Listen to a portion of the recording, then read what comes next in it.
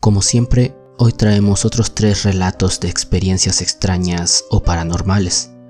Pero antes de comenzar, les recuerdo que si tienen alguna historia o algún suceso que les gustaría compartir con nosotros, lo pueden hacer a través del correo electrónico o de la página de Facebook que aparecen en la descripción y con gusto las publicaremos en el canal. Y ahora sí, sin más que agregar, sean bienvenidos un viernes más a Recuerdos Oscuros.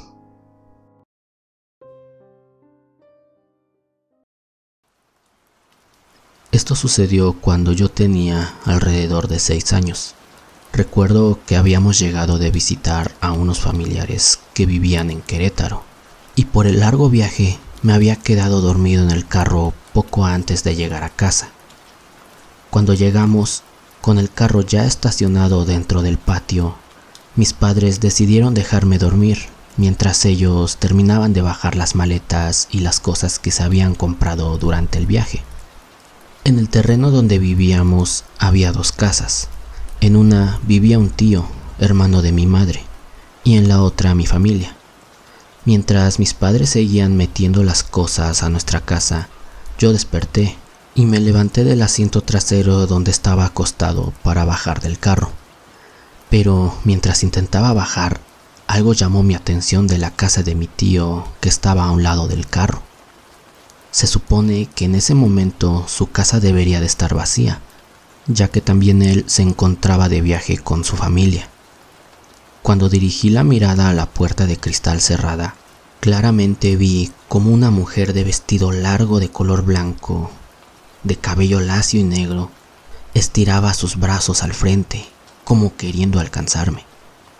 La podía ver a través del cristal, flotando, y cuando vi que atravesaba la puerta con una sonrisa macabra en su rostro, grité y traté de salir corriendo buscando a mis padres, pero tropecé al querer salir rápido del carro y caí al piso. El golpe más el miedo por ver a esa mujer me hizo llorar, y mis padres al escuchar primero mi grito y luego cómo lloraba, llegaron rápido a encontrarme y mi madre me alzó entre sus brazos. Al ver que estaba pálido y temblando de miedo, me preguntaron qué había pasado. Les platiqué lo que acababa de ver y ellos fueron a revisar la casa de mi tío porque pensaron que tal vez alguien se había metido a tratar de robar y yo lo había descubierto. Pero al encontrar la puerta cerrada con llave y ningún indicio de que alguien se hubiera metido, fueron a preguntarme de nuevo lo que había visto y les volví a explicar cómo esa mujer salió de la casa pero sin abrir la puerta, que ella solo la atravesó y mientras sonreía murmuraba que me llevaría con ella, tratando de agarrarme con sus brazos estirados.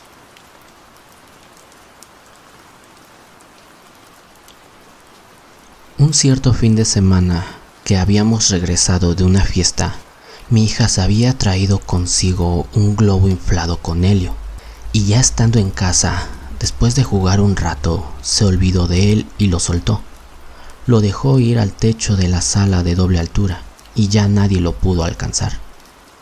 No le dimos importancia y nos fuimos a dormir, pero al día siguiente al levantarnos, el globo por alguna extraña razón estaba en el pasillo afuera de nuestra recámara del segundo piso. Fue un poco extraño encontrarlo ahí, ya que para poder llegar Primero tuvo que librar esa doble altura, luego avanzar por todo el primer piso hasta llegar a las escaleras, subir y después cruzar todo el pasillo del segundo piso para llegar a la puerta de la recámara principal. Sí, fue extraño, pero tendría que haber sido alguna corriente de aire muy afortunada. Eso pensé. Aunque después, durante todo ese día, Pareció como si el globo nos estuviera siguiendo por toda la casa. Si subíamos, él también subía detrás de nosotros. Si bajábamos, nos acompañaba. Ya fuera la sala, la cocina, el comedor, a cualquier lado nos seguía. Después de un buen rato de eso, decidimos amarrarlo a un perchero que hay en la sala para que dejara de molestarnos pero a la mañana siguiente, nuevamente por alguna extraña razón, apareció flotando enfrente de la puerta de nuestra recámara. ¿Cómo se desató?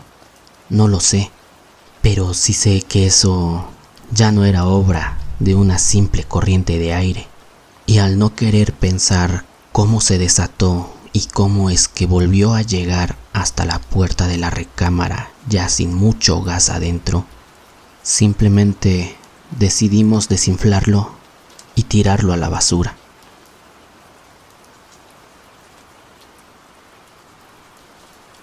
Cuando era pequeño y tenía alrededor de nueve años, mi familia y yo vivíamos en una vecindad que para poder llegar a ella teníamos que cruzar por un callejón estrecho donde usualmente se estacionaba un coche por las tardes. Para mí, el pasar por ese estrecho lugar representaba una completa pesadilla. Pasar por ese lugar flanqueado por dos enormes muros a cada lado, donde apenas había espacio para un coche estacionado, pegado completamente a un lado de la pared y que solo te dejaba el espacio mínimo de unos 50 centímetros para pasar junto a él, me hacía sentir ansioso y con miedo, ya que casi siempre era un lugar completamente solo y silencioso.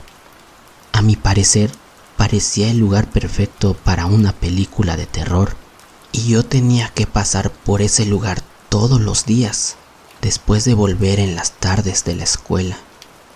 Y precisamente una tarde de esas, mientras pasaba junto al coche, recuerdo que claramente sentí como una mano fría y húmeda me acariciaba una de mis pantorrillas. Ni siquiera puedo describir el miedo y la angustia que sentí en ese momento. Salí corriendo de ese lugar y llegué a mi casa llorando del miedo. Le conté a mi mamá lo que había pasado pero no me creyó. Me dijo que tal vez había sido un gato el que pasó entre mis piernas y eso fue lo que me asustó. Después de eso, no tenía de otra más que creer esa historia del gato, simplemente porque no había otra forma de llegar a mi casa y tenía que aprender a lidiar con eso de cualquier forma. Y precisamente unos días después, cuando ya medio había olvidado el incidente anterior, a mi mamá se le ocurrió mandarme a la tienda ya casi oscureciendo. Al llegar al callejón, puedo asegurar que vi entrar arrastrándose debajo del carro a una figura oscura. Tenía forma de esqueleto, con lo que parecían ser enormes garras y una sonrisa de extremo a extremo de su rostro calavérico que dejaba ver unos dientes afilados pude ver cómo esa figura estaba inmóvil debajo del carro, como si estuviera esperando a su presa. Podía ver el ligero brillo de su sonrisa y de sus ojos rojos que puedo asegurar sentía clavados en mí, como si estuvieran esperando pacientemente a que cruzara por ese lugar. No sabía qué hacer. No podía simplemente regresar sin lo que me habían pedido y no podía contarle a mis padres, ya que sabía que no me creerían. Mientras pensaba qué hacer, escuché la voz detrás de mí de una pareja que se acercaba para cruzar por el callejón.